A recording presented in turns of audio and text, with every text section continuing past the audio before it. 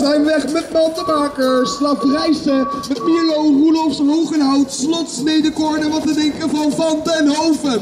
Vooraan is het Lafrijsen. Goed om hem terug te zien op de fiets hier zo. Aan de binnenkant komt daar mandenmakers. Roelofs en wat te denken van Van Mierlo. Het is dan Slots die daar op het vinkentouw zit. Kan er nog wat gaan gebeuren met DJ Slots? Op het laatste rechte stuk, we gaan het in de gaten houden. Het laatste rechte stuk voor DJ Slots om Van Mierlo te verslaan. We gaan het nemen, aan komt de finish.